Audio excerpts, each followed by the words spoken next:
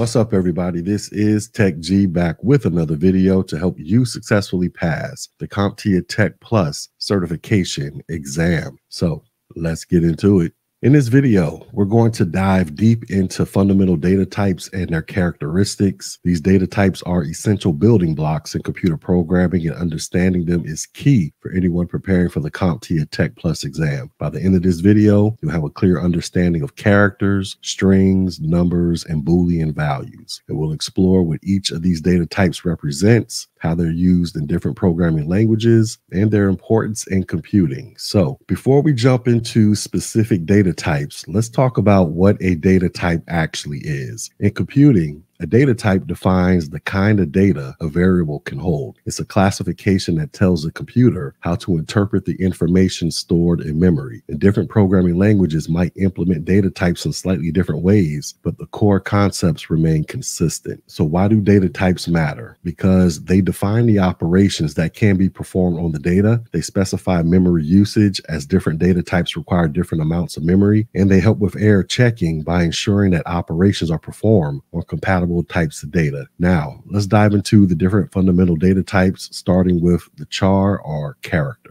The first fundamental data type we'll look at is char, and that stands for character. So a character, this is any single letter, number, punctuation mark, or symbol. In programming, the character data type stores exactly one character, and it can hold characters like alphabet letters, digits, and special characters like punctuation. And its characteristics are as follows. So the first one is size. So typically a character requires one byte of memory, but this can vary by language and encoding. Another character characteristic is representation. Characters are often enclosed in single quotes. So, for example, the letter A in single quotation marks, this is a character. And then they're also represented by ASCII and Unicode. So, characters are stored using encoding standards like ASCII or Unicode. In ASCII, each character is represented by a number. So, for example, the character A is represented by the number 65. And the use case for a character is text processing. So characters are widely used in text processing. So for example, in a word processor, each letter is stored as a character.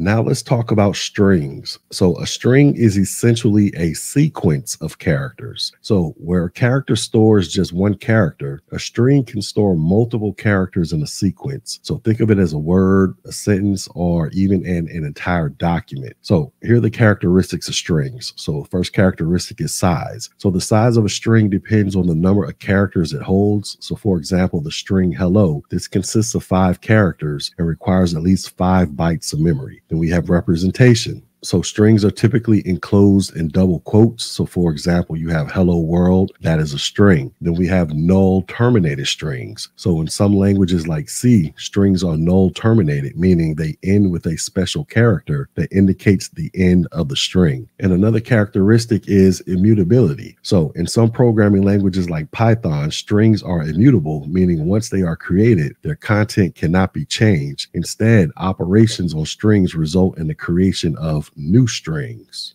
And the use cases for strings are the following. So they store text. So strings are used whenever we need to store text, such as user input, file content, or website data. And then there's string manipulation. So strings often come with built-in functions that allow us to manipulate them, like finding their length, concatenating them, or converting to upper and lower case. So strings can be much longer than just a few characters, and they are used in virtually every program to handle text data. Now let's move on to numbers. And first, we're going to talk about integers. So, an integer, which is often abbreviated as int, this is the data type that represents whole numbers. And these numbers can be positive, negative, or zero, but they cannot contain any decimal points. And the characteristics of an integer are as follows. So, the size of an integer can vary based on the system in the programming language. And typically, an integer takes up four bytes or 32 bits of memory. However, there are variations like short and long integers they use less or more memory. Another characteristic is the range of integers depends on the size. So for example, in a 32-bit system, an integer can range from negative 2.1 billion all the way up to 2.1 billion. And then another characteristic is the operation. So integers, they support basic arithmetic operations like addition, subtraction, multiplication, and division.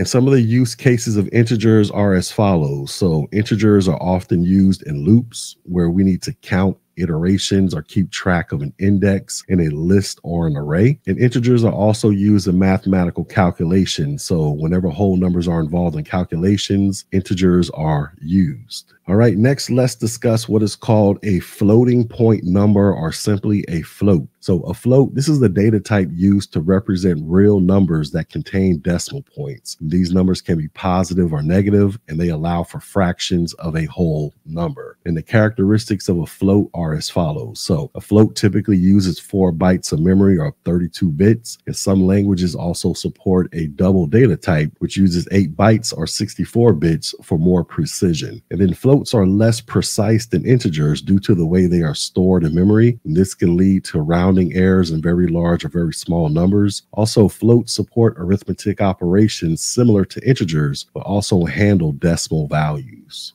And some of the use cases for floats are as follows. So, floats are used when precision with decimal points is necessary, such as in financial calculations or scientific simulations. And also in programs that need to handle measurements like height, weight, or speed, floats are commonly used. So, understanding the difference between integers and floats is critical for ensuring the right data type is used when dealing with numbers. And finally, let's talk about the Boolean data type. So a Boolean, this represents a binary value, either true or false. And this data type is used primarily for logical operations and decision making in programs. And the characteristics of Boolean are as follows. So a Boolean usually requires one bit of memory as it only needs to represent two values, either the number one, which stands for true, or the number zero, which stands for false. Also, Boolean values are used in logical operations like and, or, and not. And also, in many programming languages, Boolean values are used in conditional statements such as if, while, or for loops. Now, some of the use cases for Boolean are as follows. So, Booleans are most commonly used in decision making processes. So, for example, when you check whether a user is logged in, the result is either true or false. Also, in loops and conditionals, Booleans help control the flow of a program based on whether conditions are met or not. So essentially, Booleans are critical for writing programs that make decisions based on conditions. And on your screen right here is an example of Boolean used in the Google search algorithm. So if you went into Google and you typed up the following stating that you're looking for toys, you might get 244 results. If you typed into Google that you're looking for cars, you might get 300 results. However, if you typed into Google, you are looking for toys and cars, you might get 10 results. If you typed in you're looking for toys or cars, you might get 400 results. And if you typed in you're looking for toys, not cars, you might get 200 results. Then at the bottom here, we have Boolean that's expressed as an algebraic equation. So if x equals 1 and y equals 1, then x and y equals 1. Another expression, if x equals 1 or y equals 0, then x or y equals 1. And then we have x equals 0, and that's not equal to x equaling 1.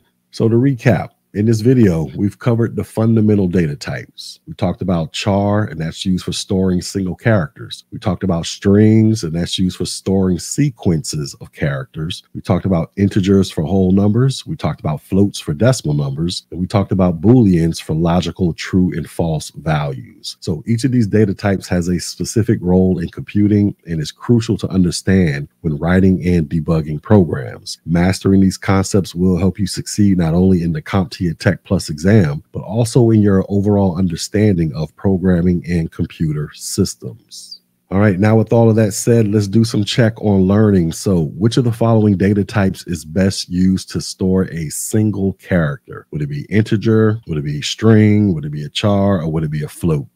And of course, the correct answer is char. So the char data type is used to store a single character, such as the letter A or the number five, and it is typically one byte in size. Next question Which data type would be most appropriate for storing a value of 3.14? Would it be an integer, a char, Boolean, or a float? And the correct answer is float. So the float data type is used to store decimal numbers such as 3.14. And our final question What is the primary purpose of a Boolean data type? Is it to store numeric values, to store textual data, to store true or false values, or to store a single character? And of course, the correct answer is it is to store true or false values. So the Boolean data type is used to represent two states, typically true or false. It is often used in conditions and control structures in programming.